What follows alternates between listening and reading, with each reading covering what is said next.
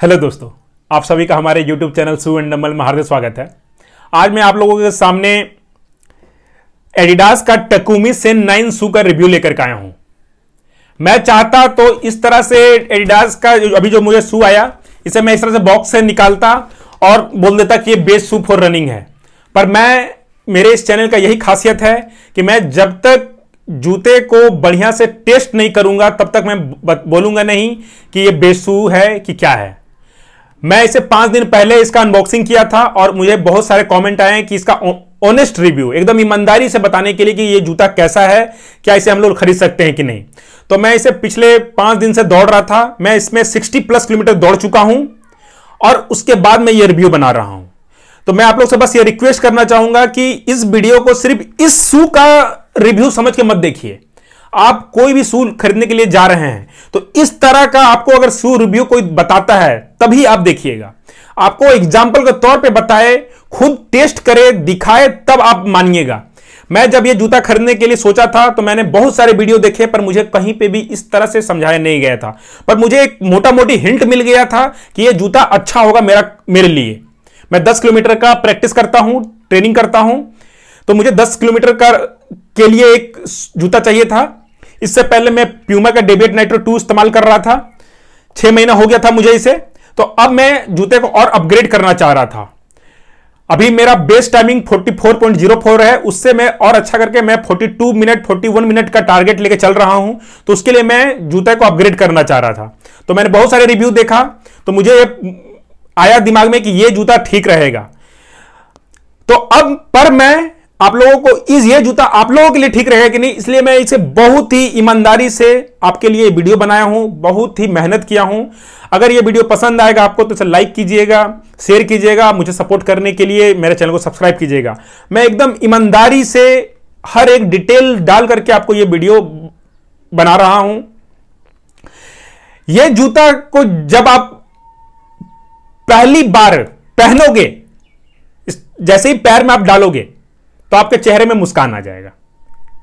ये जूता इतना हल्का है इतना हल्का है कि आपको जब रन करोगे तो आपको समझ में ही नहीं आएगा कि आप, आपने कोई जूता पहना है। इसका अपर जो है ये इतना ट्रांसपेरेंट है देखिए पूरा नेट टाइप का है। आपको एक चीज़ मैं दिखाता हूँ। थोड़ा संयम रखिए वीडियो को पूरा देखिए आपको मैं बहुत अच्छा तरह से आपको बताने वाला हूँ। आप देखो ये दिख रहा है ये इसका का ना मौजा तक दिखने लगता है, अंदर से। ये इतना ट्रांसपेरेंट है और ये इतना इसमें होल है कि आप जब रन करते हो तो इसमें इतना एयर पास करता है कि आपका पैर को गर्म नहीं होने देता है। आप जब लंबा दौड़ोगे तो आपका पैर गर्म हो जाता है हिट हो जाता है। उसके कारण आपका परफॉर्मेंस खराब होने लगता है। आपका पैर का जो नीचे का पोर्शन होता है, वो उसमें जलन होने लगता है। ऐसा कोई तरह का इशू इसमें नहीं आया। अभी मैं इसका कुछ पॉजिटिव पॉइंट पॉइंट बता रहा हूँ, उसके बाद मैं नेगेटिव पॉइंट भी बताऊँगा कि इसमें क्या नेगेटिव चीज़ है। तो इसका एक तो ये इतना हल्का है कि आपको समझ में नहीं आएगा कि कुछ आपने पहना है, आराम से दौड़ोगे। मेरे पास जितने भी शू है, सबसे हल्का है। इससे पहले ये प्यूमा का डेबिट इस्तेमाल कर रहा था। इसे और इसे। साफ़ समझ में आता है भाई कि मैं कुछ हल्का चीज़ इस्तेमाल कर रहा हूँ। पैर के नीचे मेरा कुछ हल्का चीज़ है। और मैं इसे पहन करके ग्राउंड पे दौड़ा हूँ रोड पे दौड़ा हूँ रोड पे मेरे एरिया में हिली एरिया है अप है डाउन है, वहाँ पर मैं दौड़ा हूँ। हर जगह पे इसको चेक किया हूँ ताकि आप लोगों को एकदम पता चल सके कि ये क्या ये शू अलग अलग अलग अलग सरफेस में काम करता है कि नहीं ठीक से। आप जब ग्राउंड में दौड़ोगे तो आपको टर्न जब आता है तो बहुत बार क्या होता है, हम लोग फिसल जाते हैं स्केट कर जाते हैं, क्योंकि उसका जो ग्रिप होता है, वो अच्छा तरह से काम नहीं करता है। आप जब मैराथन वगैरह दौड़ने जाओगे तो आपको कहीं ना कहीं टर्न मिलेगा ही। एक से दो टर्न तो मिलेगा ही मिलेगा। तो बहुत सारे लड़के क्या होते हैं, या तो उनका स्पीड डाउन हो जाता है, या तो स्लिप कर जाते हैं। पर ये जूता एकदम भी उस तरह का कहीं हमको प्रॉब्लम नहीं होने दिया। इसका जो कॉन्टिनेंटल रबर है, ये इतना अच्छा ग्रिप देता है कि मैंने कहा, आपको स्लिप करने ही नहीं देता है। और इसमें दूसरा रबर एकदम साइड से देखिए ना, बहुत ही पतला रबर दिया हुआ है, बहुत पतला। इसका वज़न को कम करने के लिए रबर भी बहुत पतला रखा गया है। आप कोई भी लोकल जूता लोगे कम रेट का लोगे तो उसमें रबर जो रहता है बहुत मोटा रहता है बहुत भारी रहता है। और वो उतना ड्यूरेबल भी नहीं रहता बहुत जल्दी घिस भी जाता है। 60 प्लस किलोमीटर दौड़ चुका हूँ कहीं पर भी कोई तरह प्रॉब्लम नहीं आया। और ये पतला रबर है ये जो सेंड पेपर होता है उस टाइप का ये पेपर आ, रबर है। और ये जब हम डाउनहिल में अपहिल और डाउनहिल वाला जब एरिया में जाते हैं ना, वहाँ पर ये बहुत अच्छा काम करता है। बहुत ही लाजवाब। मैं इसे भीगा हुआ रोड पे भी दौड़ा हूँ ड्राई रोड पे भी दौड़ा हूँ, कहीं पे भी कोई प्रॉब्लम नहीं हुआ है। और अभी तो बारिश का मौसम है, मैं ग्राउंड पे दौड़ता था तो देखिए ग्राउंड पे दौड़ने के कारण, देखिए इधर इसका फॉर्म पूरा चमक रहा है व्हाइट है, और यहाँ देखिए ये येलो हो गया है। ग्राउंड का मिट्टी में दौड़ते दौड़ते ये येलो हो गया। अब क्या है? देखिए, आपके लिए मैं इतना गर्मी में वीडियो बना रहा हूँ। वीडियो पसंद आए ज़रूर से लाइक कीजिएगा, मुझे सपोर्ट करने के चैनल को सब्सक्राइब कीजिएगा। तो ये ग्राउंड में दौड़ने के कारण ये पूरा येलो हो गया। पर ये जो इसका जो फॉर्म है ना, ये फॉर्म इतना, इसको ऐसा ट्यून किया गया है कि ये फॉर्म आपका उसी हिसाब से दबता है जैसा कि इसको दबना चाहिए। ये ना तो बहुत ज़्यादा सॉफ्ट है, ना तो बहुत ज़्यादा हार्ड है। पर आप जब दौड़ते हो तो ये बहुत अच्छा रिस्पॉन्स देता है और आपका पैर को कहीं भी प्रॉब्लम नहीं होने देता है। मैं इस पर दौड़ करके अभी तक अपना टेन किलोमीटर में पर्सनल बेस्ट का टाइम निकाल चुका हूँ। हा, हाफ़ मैराथन में अपना पर्सनल बेस्ट का टाइम निकाल चुका हूँ। अब बात करते हैं किसका मैंने इसका आपको एक तो लाइट वेट बता दिया दूसरा इसका ब्रेदेबिलिटी अपर तीसरा इसका फॉर्म चौथा इसका ग्रिप और पांचवा देखिए, इसका ये, इसमें प्लेट लगा हुआ है, कार्बन प्लेट। ये जब आप कार्बन प्लेट एग्जैक्टली नहीं है, ये प्लास्टिक का प्लेट है, पर ये देखिए, ऐसे करके जब हम लोग दौड़ते हैं ना तो ये देखिए, स्प्रिंग का जैसा काम करता है। तो जब आप दौड़ते हो तो ये आपको आगे हमेशा पुश करता है। तो आपको बहुत ही अच्छा स्पीड करता है। इसीलिए मैं इतना जल्दी इस जूते पे मैं अपना इतना अच्छा टाइम निकाल पाया।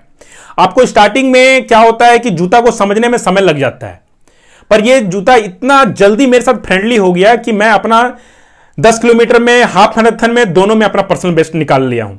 इससे पहले मैं मेरे पास एडास का ये शू था। इसमें भी एक देखिए प्लास्टिक का प्लेट लगा था उसमें भी सेम इस तरह से काम करता था।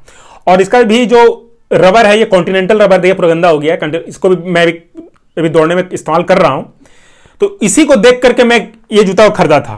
तो इसका जो रबर जो है बहुत ही अच्छा है ड्यूरेबल है 60 प्लस किलोमीटर में दौड़ चुका हूँ कोई तरह का दिक्कत नहीं आया।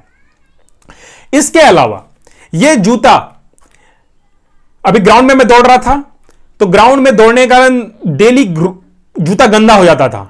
तो मैं डेली आके धोता था और ये जूता में पानी बिल्कुल भी पकड़ता ही नहीं है। इसको सुखाना इतना आसान है क्या बोले? मैंने पानी इसको धो, धोए ऐसे करके झाड़ दिए दो चार बार सारा पानी खत्म।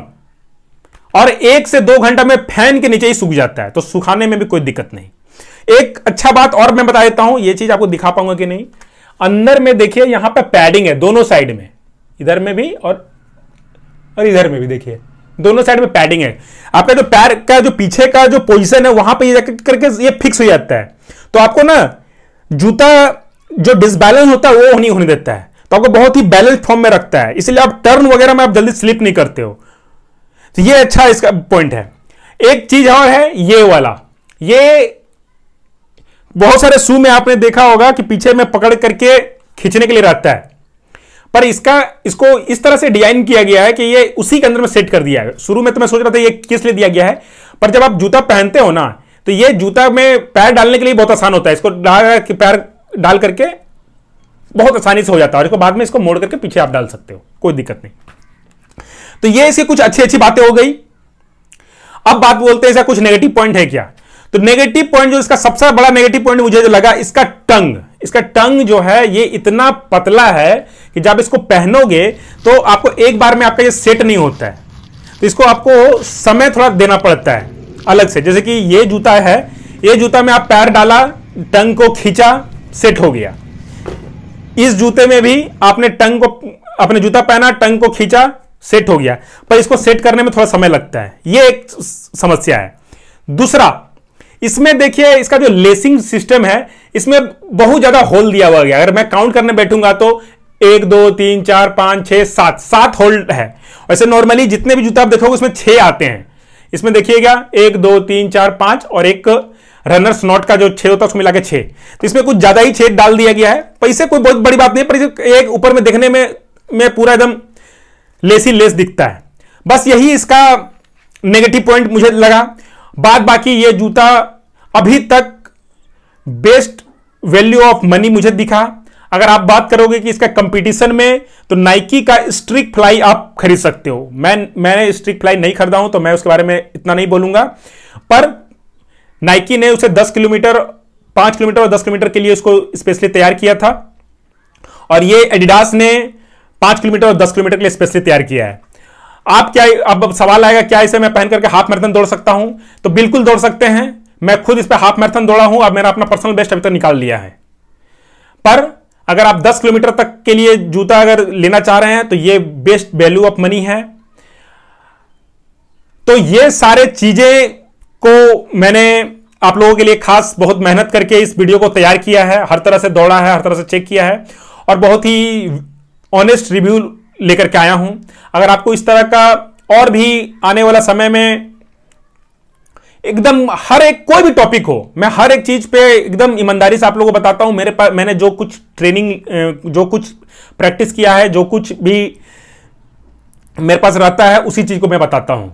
और मैं अपना स्ट्रावा का लिंक डिस्क्रिप्शन में दे दूँगा, वहाँ से आप जाकर के मुझे फॉलो कर लेना। आप वहाँ पर मुझे सब कुछ देख लोगे कि मैं किस तरह से डेली बेसिस में रन करता हूँ। अगर ये वीडियो पसंद आया तो इसे लाइक कीजिएगा शेयर कीजिएगा, मुझे सपोर्ट करने के लिए चैनल को सब्सक्राइब कीजिएगा। और घंटी को बजा लीजिएगा कि जैसे ही मैं वीडियो डालूँ, आप लोग को तुरंत मिल जाए। वीडियो देखने के लिए आपका दिल से धन्यवाद।